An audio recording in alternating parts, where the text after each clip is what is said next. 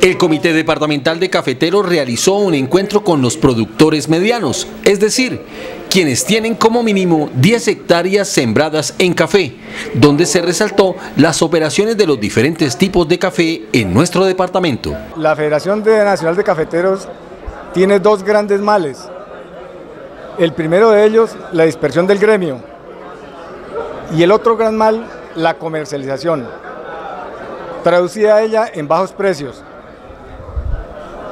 El señor gerente saliente, Luis Genaro, creo que trabajó dos variables interesantísimas contempladas en el plan estratégico 2015-2020, que fue trabajar la renovación de cafetales envejecidos por variedades resistentes a la roya. Y la segunda variable, productividad. Pienso que los, los trabajó exitosamente. Este nuevo gerente promueve dos grandes retos. Uno de los retos es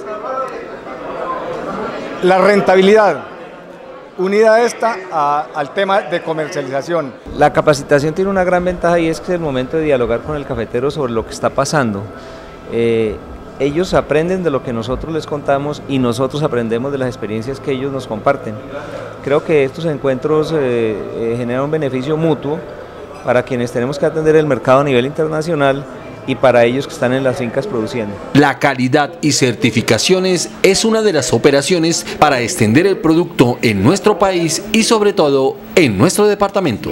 De las variedades recomendadas por la Federación Nacional de Cafeteros y poner las variedades en un contexto de que es uno de los componentes importantes a tener en cuenta en todo el tema de producción de café y poner también esa variedad en el contexto de las particularidades de Santander y cuando digo particularidades es de los suelos, de su clima, de su tipo de caficultor y todo lo que tenemos que hacer de aquí en adelante para lograr una caficultura competitiva y sostenible. Mm, pues bastante complicado, hay que mirar las, las, eh, la forma de, mantener los cultivos de café bien fertilizados a principio de año, hacer las siembras a principio de año, tener buenos sombríos.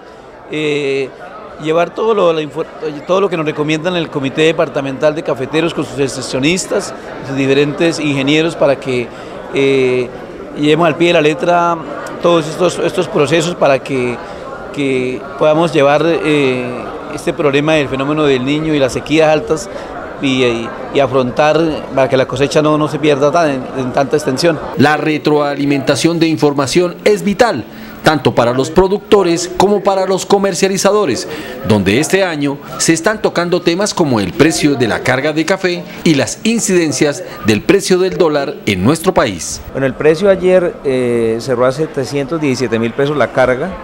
Eh, pues calificarlo de bueno o malo ya cada caficultor eh, dirá si, si, ese nivel le, parece bien o no. en este momento el, el precio del café está en, un nivel por encima de lo que era el disparador del antiguo subsidio del, gobierno.